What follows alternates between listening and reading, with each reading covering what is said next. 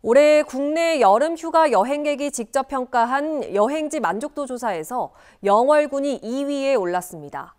리서치 전문기관 컨슈머 인사이트가 올해 1박 이상 국내 여름 휴가를 다녀온 여행객 17,281명을 대상으로 진행한 연례 여름 휴가 여행 만족도 조사 결과 영월군이 2위, 평창군 4위, 원주시가 8위를 기록했습니다. 이 밖에 고성군이 공동 5위, 인제군 7위, 태백시 10위 등 도내 6개 지역이 10위권 안에 들었습니다.